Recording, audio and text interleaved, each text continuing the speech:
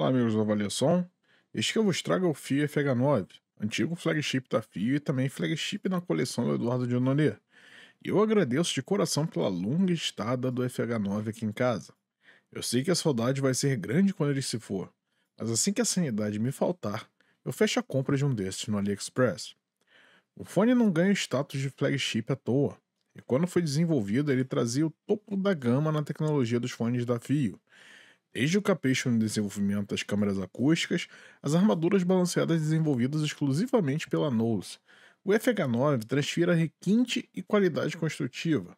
Lançado no início de 2022, o seu preço de tabela fica em torno de 600 dólares, mas ele pode ser encontrado por preços mais camaradas, apesar da voracidade dos impostos de importação. O seu unboxing consiste em uma caixa volumosa, traz o render do fone e detalhes holográficos sobre ele ao redor da caixa em formato luva, já a caixa interna nos brinda com Born for Music e um desenho estilizado do fone. A sua abertura magnética revela o berço dos fones em formato de coração, os filtros intercambiáveis em uma plaquinha de metal e a vistosa case de couro que combina azul e creme. O interior da case é de veludo e com nichos para evitar que os fones encostem um no outro. Logo abaixo nos deparamos com as ponteiras, e são nada menos do que 15 pares, incluindo dois pares de spin fit, dois pares de espumas de memória, dois pares com flange dupla e modelos de silicone que privilegiam graves, médios e agudos. No nicho à direita há uma tira de couro magnética para prender o cabo, os adaptadores 2,5 e 4.4 mm para o cabo e a escovinha de limpeza. E por falar nele, o cabo em si é um vigoroso conjunto de prata pura segundo a fio, e o seu visual impressiona por si só, e tem terminação MMCX para o fone e modular para a fonte. Os fones, como eu disse antes, são belas peças cujo corpo é todo feito em titânio, cujo faceplate traz design acústico semi-aberto. Do lado de dentro, a FIA implementou seu sistema de tubos S-Turbo para privilegiar os graves, ao mesmo tempo em que implementou um filtro no encaixe das armaduras balanceadas de forma a eliminar ressonâncias indesejáveis. A sua sonoridade é gerada por um conjunto híbrido de 7 drivers, que traz um dinâmico de 13.6 mm feito de DLC banhada berílio para os graves Quatro armaduras balanceadas 62 305 da Nolus que foram desenvolvidas exclusivamente para fio e cuidam dos médios do FH9.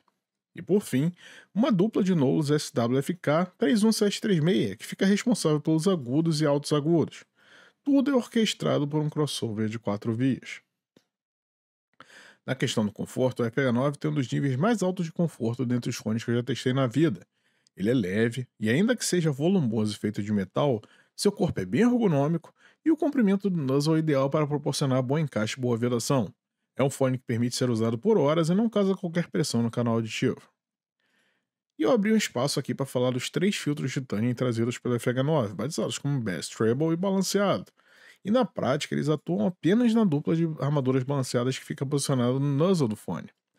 Com a atenuação dos agudos, é possível ter uma maior projeção de graves e médios, e é por isso que o filtro com maior atenuação é chamado de bass. E o filtro de treble nada mais é do que uma grelha de metal, apenas para evitar a entrada de impurezas no interior do fone. Tanto que ouvindo-se o fone com ou sem o filtro, a sonoridade é igual. Já os filtros bass balanceado trazem uma armação com três eixos na ponta, e no centro, eles trazem um damper da Knowles, sendo que o Balanced traz um damper branco e permissivo, e o Bass traz um filtro amarelo, que tem uma atenuação um pouco maior dos agudos. Na prática, como bom Treble que eu sou, eu preferi o filtro Treble, e foi com ele que eu testei o fone a maior parte do tempo. A questão da sonoridade musical, eu experimentei o FIA FH9 e um iPhone SE que eu uso como DAP, um KN RU6 e um Top Stage Plus, e ele toca tranquilamente em fontes fracas, mas escala maravilhosamente bem conforme fontes mais refinadas são utilizadas. Na questão dos graves, o FH9 impressiona de cara, e ouvindo um War It mesmo em volumes baixos, é possível notar a profundidade daquelas batidas. São graves muito cheios, deliciosamente texturizados, graves que apaixonam logo de cara. Eu comparo os graves ao Old Dream Factory, e sem qualquer desconto. São graves que tratam bem cellos, contrabaixos, baterias e também a linha de baixo de um rock.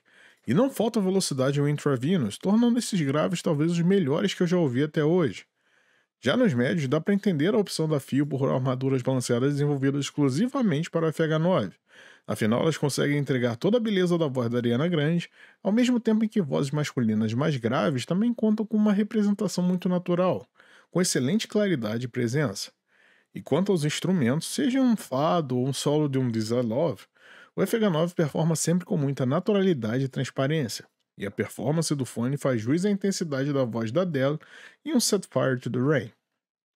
E os agudos do FH9 também são dignos de aplausos, especialmente se você optar pelo filtro Trouble, como eu fiz. O brilho apresentado pelo fone é belíssimo, ao mesmo tempo em que carrega bastante suavidade e um elevado nível de arejamento, sem perder a naturalidade. Há uma celestial extensão de pratos em The Well, e violinos se estendem igualmente até os céus. E na questão das tecnicalidades, o destaque é a amplitude do palco, em parte graças ao design acústico semi-aberto adotado pela FIA. É um palco amplo e muito tridimensional, com uma belíssima imagem formada. O layering do fone belisca a surrealidade de tão palpável, e o seu nível de detalhes navega nos mares dos micro detalhes, ao mesmo tempo em que a separação de instrumentos é sublime. E como não poderia deixar de ser, a resolução é magnífica e rivaliza tranquilamente com fones bem mais caros que eu já ouvi. Na questão da sonoridade em jogos, ele é um monstro. Definitivamente o FH9 é um monstro no PUBG ou em qualquer Battle Royale, dada a forma quase criminosa na qual ele revela localização de oponentes em qualquer posição no espectro 360 graus. E em jogos de FPS a excelência persiste, pois o FH9 revela com excelente precisão os sons da movimentação de oponentes pelo mapa, sem deixar que esses sons sejam mascarados pelos graves. Passando para jogos casuais, outro deleite, o FH9 entrega os sons ao redor com muita naturalidade, e a sua projeção holográfica é muito ampla, trazendo uma sensação imersiva fantástica. E por fim, jogos de simulação se beneficiam dos graves saborosos e pujantes do FH9. Eu recomendo o filtro Bass para esses jogos, de forma a dar uma capada nos agudos, dando mais ênfase às frequências que importam por aqui. Na questão da sonoridade em filmes, séries e na produtividade, o FH9 é um típico fone que casa bem com qualquer tipo de filme ou série, dada a sua capacidade imersiva ou ainda os filtros que permitem ajustar o timing de acordo com o gênero. Ademais, o FH9 pode ser usado tranquilamente para ouvir podcasts ou para estudar, dado que ele traz uma ótima sonoridade de voz. Conclusão. Isso pareceu mais um publi editorial do que um review, mas a culpa é puramente do FH9. Eu fiquei com esse fone por muito tempo e toda vez que eu deixava de lado para testar outros fones, logo vinha aquela vontade de trazer o FH9 de volta aos ouvidos. Ele se tornou o meu fone de reset ao longo desses dias, fone que eu uso quando eu quero trazer a minha audição para casa, ou ainda o fone que eu ouço quando eu quero apenas curtir música e nada mais. E eu deixei para redigir esse roteiro no último dia da nossa convivência. O motivo é que o FH9 é um fone impossível de ser desvendado em um dia, uma semana ou até mesmo um mês. E eu receio já ter dito isso antes sobre outros fones, mas o FH9 redefiniu esse status e subiu de vez o sarrafo que precisa ser superado pelos outros fones que eu posso verdadeiramente chamar de apaixonante. O FH9 não é barato, não é hypado e também não é mais novidade. Mas isso pouco importa para ele.